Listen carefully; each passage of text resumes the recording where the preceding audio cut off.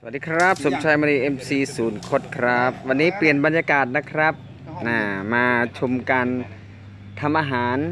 นะครับที่ไม่ธรรมดาที่ไม่ธรรมดาเพราะว่าวันนี้ท่านพอนะครับเพื่ออำนวยการกองช่างนะฮะมาทำอาหารให้เราได้ทานโดยเฉพาะเลยนะครับ เริ่มแล้วครับตอนนี้ครับอ่าหมึกอะไรนะเขาเรียกอะไรหมึกอะไรวะไอ้เชนชวนชิมของอะไรนะไอ้คนละล้านชื่ออะไรวะ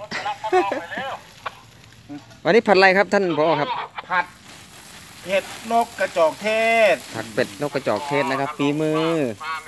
ฝีมือไม่ฝีมือครับอร่อยไม่อร่อยก็ไม่ทราบนะครับรีบตอนไปนี้ทำกับข้าวรอไงครับ โอ้นี่ฮะบอกก็รีบไปทำกับข้าวรอ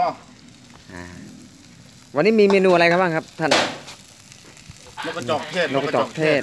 ผัดเป็ดนกกระจอกเทศแล้วก็มีต้มแจ่วใช่ไหมฮะต้มแจ่วต้มแจ่วนะครับนี่ต้มแจ่วนกกระจอกเทศนะครับ ผมฝีมือของท่าน ผอกองช่างนะครับ ผมนี่วันนี้ท่านลงมือเองอืมท่านมาอ่าตรวจงานนะครับที่อ่าโครงการของเรานะครับ แล้วก็ท่านได้มาโชว์ฝีมือการทำอาหารให้พวกน้องๆนะครับ ได้ทานกันด้วยนะครับ รสชาติจะเป็นยังไงนะครับ เดี๋ยวติดตามเดี๋ยวแปะเห็น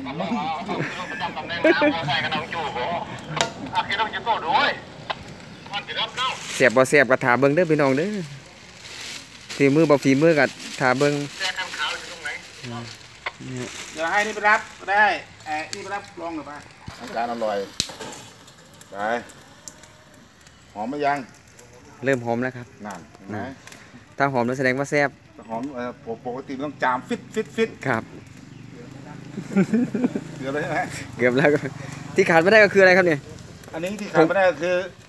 ความอร่อยเบื้องหลังครับผมเบื้องหลังครับขาดแล้วขาดแล้วใครตัวมันครับ โอ้โห รู้แล้วว่าครับว่าความอร่อยอยู่ตรงไหนนะครับ อยู่ตรงนี้นี่เองนะครับอื้อหืออะอร่อยไม่อร่อยติดตามนะครับ ผมลงมือเองครับให้กับลูกน้องนะครับให้กับเด็กๆ ทางศูนย์คดได้รับประทานฝีมือของท่านนะครับ อย่า ให้เขาเห็นเราหลาย ที่ลืมไม่ได้มันก็คือน้ำปลานั่นเองครับ น้ำปลานี่น้ำปลาน้ำปลาน้ำปลาตราแสงสว่างนะครับอืม